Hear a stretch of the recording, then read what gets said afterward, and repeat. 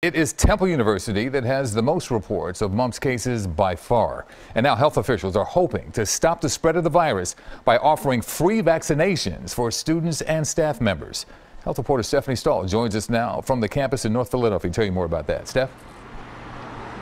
Hey, you can turn out today for this mumps booster vaccine clinic far exceeded expectations.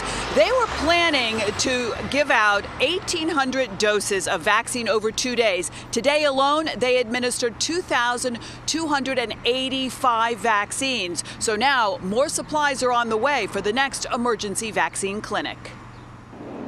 English literature professor Jacqueline Fitzer among the hundreds lined up to get the mumps vaccine booster at Temple University. I told my students that um, if they got the vaccine booster, I'd get the vaccine booster, so hopefully we can get some herd immunity going. In an effort to contain the mumps outbreak that started in January, Temple is providing free vaccinations. The recommendation now is really for all students at Temple University to come get a booster dose of MMR vaccine. Dr. Stephen Alles with the Philadelphia Health Department says mumps is easily spread through close contact on college campuses, even to those who were vaccinated as children because the vaccine wears off. Scary situation?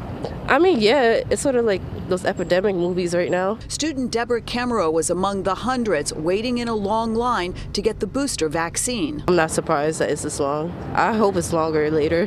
Right. Yeah.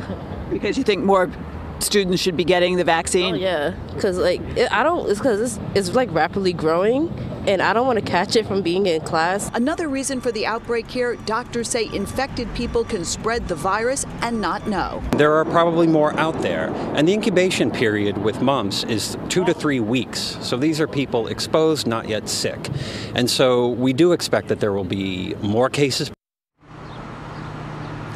and right now, in terms of numbers, Temple says uh, that number is 106, the number of mumps cases up here. The next vaccine clinic will be on Friday, and I am told there will be no problem with supplies of vaccine. Reporting live at Temple University, I'm Stephanie Stahl, CBS 3 Eyewitness News. Stephanie, thank you.